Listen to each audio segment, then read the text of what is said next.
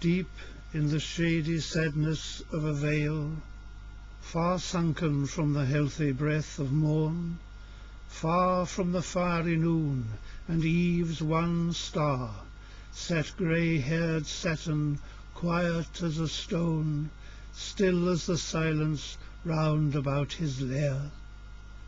Forest on forest hung about his head Like cloud on cloud. No stir of air was there, Not so much life as on a summer's day Robs not one light seed from the feathered grass, But where the dead leaf fell, there did it rest. A stream went voiceless by, Still deadened more by reason of his fallen divinity spreading a shade. The Naiad mid her reeds pressed her cold finger closer to her lips. Along the margin sand large footmarks went, no further than to where his feet had strayed and slept there since.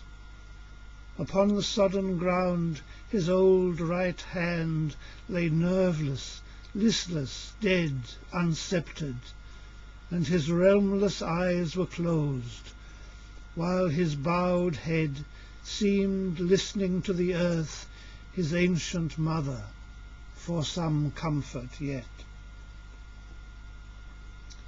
It seemed no force could wake him from his place, but there came one who with a kindred hand touched his wide shoulders, after bending low with reverence, though to one who knew it not.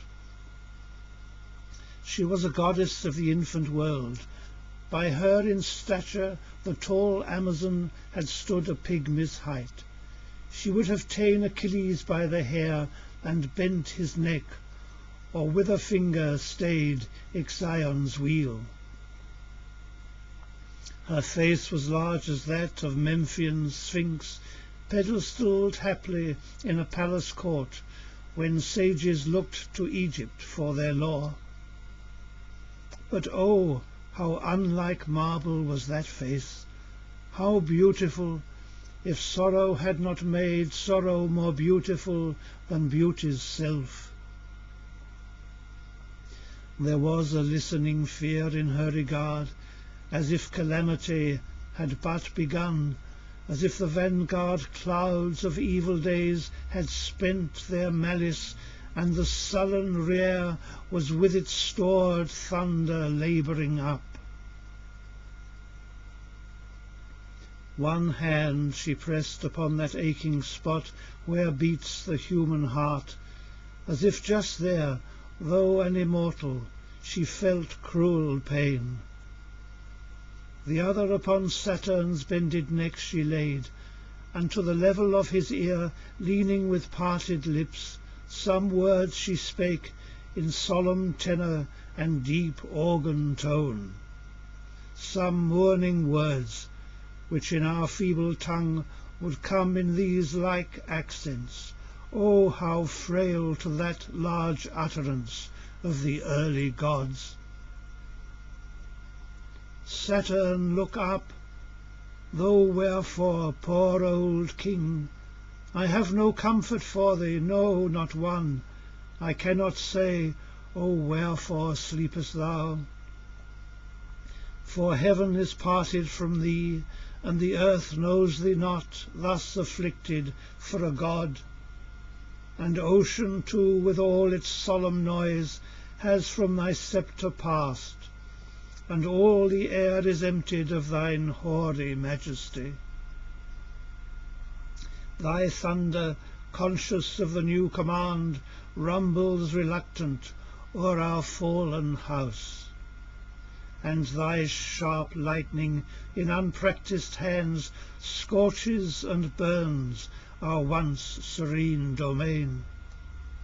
O aching time, O moments big as years, all as ye pass swell out the monstrous truth and press it so upon our weary griefs that unbelief has not a space to breathe.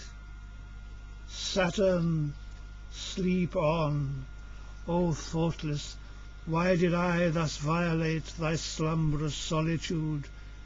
Why should I ope thy melancholy eyes? Saturn, sleep on, while at thy feet I weep.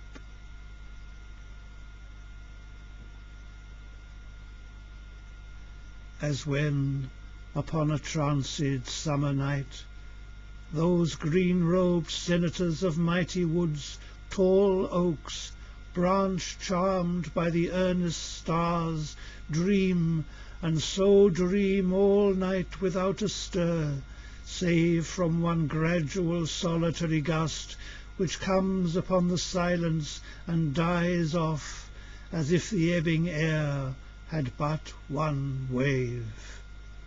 So came these words and went, the while in tears she touched her fair large forehead to the ground, just where her falling hair might be outspread, a soft and silken mat for Saturn's feet.